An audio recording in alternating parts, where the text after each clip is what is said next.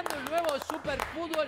Mientras veíamos los títulos, el gato decía, qué bien que está Vélez, qué, bien, que, Vélez, juega qué Vélez. bien que juega El puntero del Qué campeonato. equipo serio, metido, concentrado, dinámico, es lo mejor. Hoy juega River semi. Perdón, la intención es meterse Ah, en ah, semifinales sí, de Copa sí, sí, Libertadores. claro. Ojo. Claro, alguno me dirá que vos ya te pensás que, que a Colo Colo lo pasó por que- arriba. No, tiene que, que- cerrar lo bueno que ya consiguió en Que le Chile. dé un broche de oro, ojalá, la semana que inició en Chile, siguió, bueno, el sábado. Guarda y que que puede hoy. ser una brocha gorda. Bueno, Sí, sí. tranquilo. Eh, Tranquilo. vamos a hablar de River en un rato porque eh, ¿Cómo los sigue? títulos decíamos que ya Oh. Colillo se mete en el 11 inicial. Así parece. Vamos a hablar del millonario, pero claro, tenemos que arrancar con Boca. No, no me hagas así, Cristian, no me hagas así, porque tenemos que hablar con Boca Juniors. Ayer este hombre que está en la pantalla, Diego Sí. Martínez, se juntó con el consejo. Sí. Y por Sí. el momento, por el momento, mirá las imágenes. Sí. ¿Qué piensan ustedes que le está diciendo ahí eh, Chelo, Mira, te- no te vamos a echar ahora porque Ahí- perdiste ahí contra River en un partido. ¿Cómo, Turco? No te vamos a echar ahora porque perdiste contra River, hay que dar un partido más. No, si no perdés parece, el próximo, no, no te parece, vas. no parece las imágenes coinciden Ah, con esto que que- vos estás diciendo. claro. Cristian, ¿qué le están diciendo ahí? Eh, le están preguntando por qué jugó rojo, por ejemplo, entre las cosas. Ah, Viste que yo ayer, te- eh, ayer eh, inicié un programa... Siento que te quedaste trabado con lo que me dijiste ayer. Sí, porque yo te prometí que iba a averiguar. Fue el hombre furor ayer, ¿eh? Sí, pará. Yo te prometí que iba a averiguar. Pará. y Después más tarde te voy a contar. No, no, pará, pará. No, no, pará. más tarde, Pará, ahora no. Pará, pará, pará, porque por ahí si alguno ayer no Claro. nos vio, se dio largo el fin de semana y hoy prende Teis Sports, se encuentra con Traverso diciendo, yo te dije que iba a averiguar. Ayer vos viniste acá Sí. y dijiste que Dije que si le habían armado el equipo a- al técnico, no tenía que dirigir más. Ahora, lo que averigué es más preocupante. No sé si, si, si, si me sale eh, bien eso. No, para, para, para. es más No lo digas ahora. No, lo, digas voy a decir. No lo Pero digas yo te ahora. prometí algo. Sí. Así que este, después te lo voy a decir. Vos me dijiste que ibas a, a averiguar, te metiste tipo Me llegó un fax, detective, Agustín. detective, investigador, Entró un fax. periodista. me llegó un fax. un Me fax. llegó un fax. Me llegó un fax. Eso no se usa más. el ¿No se fax. usa más? No, no tiene una. Bueno, pero ahora le llegó. Pero para qué, ¿averiguaste esto? No, yo estaba en casa, boludo, hablando con los chicos del canal bueno, bueno, y, y entra el, entra el ruido del fax. Y entró un O fax. sea, para, a lo que vos, vos preguntaste ayer al aire acá, Sí. si le habían armado el equipo, Sí. él tenía que irse porque estas cosas no se hacen. Recibí ¿Y respuesta. qué le ibas a averiguar? ¿Tenés la información? ¿Te llegó la data? Sí, tengo, tengo pruebas. ahí, sí. Pero a ver, somos Tengo periodistas. pruebas. Eh, tengo gusta. pruebas, que, es lo- Bueno. que es lo que más me gusta. ¿Me, Sí. ¿me lo pero- vas a contar? Of course. Bueno, che, hablando de noticias, Germán García Groba tiene una noticia importante también del mundo Boca. Sí, te voy a contar detalles de una conversación que se dio hace aproximadamente unos 10, 15 días que hasta ahora no trascendió. Bueno, eh, bueno, tenemos de todo, eh. no sé cómo hacemos hoy, porque estamos, estamos complicados. el Eh, tiempo. hoy se llama- el programa se llama Coletazos del Sábado. No, se llama. daño o daños colaterales, ¿no? Exactamente. El técnico, la- Es el, lógico, el ¿eh? arquero, el capitán. Es increíble cómo... El referente. Es increíble como un superclásico que era realmente uno más para River, un lunar en una semana de Copa Libertadores, termina siendo el superclásico con más coletazos de Madrid para acá. Y sí, Sí, en la sumatoria pone que Boca, que no perdía ningún clásico, ahora cayó en dos seguidos. Que River le puso los suplentes que jugó de local.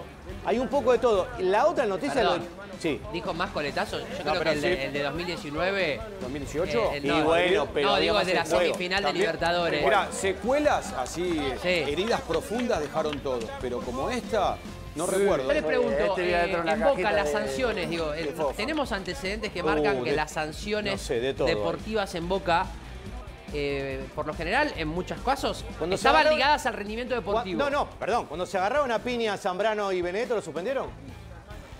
Bueno, Eh, Sarachi, sí, sí, eh, sí, Diego Martínez borró a Sarachi cuando se nos va a concentrar, lo contó Tato acá. No, acá, acá, a ver, esas son cosas futbolísticas. Esto fue una cuestión de con la gente.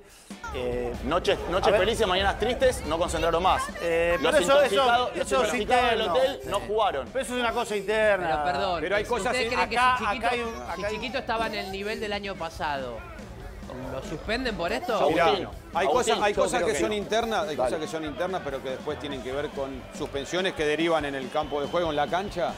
A mí me tocó vivir, que después fue público lo- eh, y no tiene que ver con Boca, pero sí Pablo Pérez con un hombre tan importante en Independiente, entró en un entretiempo, hizo algún lío y le dieron dos fechas. BKC se decidió darle dos fechas. Pero- Después derivó adentro de la cancha. Pero esto que vos decís, Agustín, es contrafáctico, porque eh, No. el insulto Cristian. viene por una cuestión de, de- de consecuencias, de situaciones.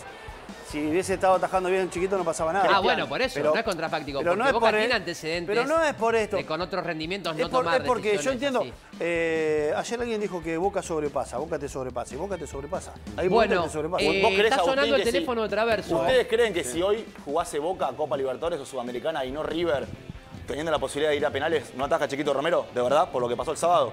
¿Realmente Ah, creen que lo suspendían y no atajaba? Yo no lo Eh, creo. Yo no no, lo yo creo. Seamos buenos yo creo, nosotros. yo, creo, yo creo que no. Bueno. Yo creo que no. Bueno. A ver, eh, Tato Aguilera, ¿qué piensa? ¿Que esta, esta sanción está, está ligada directa, indirectamente con el rendimiento deportivo de Chiquito? Tato, querido, buen día. Hola, Bu, querido. No, no está ligado a eso. Si no cometía ese error, Chiquito Romero, de reaccionar contra los periodistas de Boca, sea cual sea la frase o lo que sucedió, Chiquito Romero atajaba el sábado frente a Belgrano. Y esto se lo puedo confirmar.